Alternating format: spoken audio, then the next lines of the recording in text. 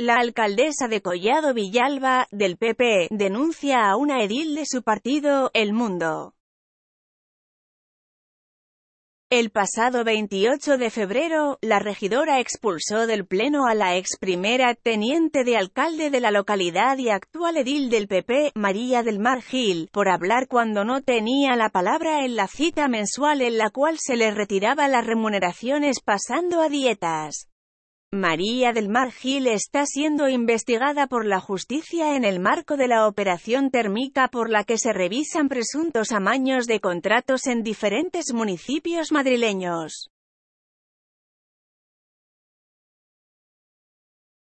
La edil del PP aseguró que su cese estaba motivado por su negativa a firmar el contrato de adjudicación de los nuevos contenedores en el municipio. Por ello, según fuentes municipales AF el ayuntamiento ha presentado una denuncia judicial por injurias y calumnias contra María del Mar Gil al poner en duda la regularidad del contrato.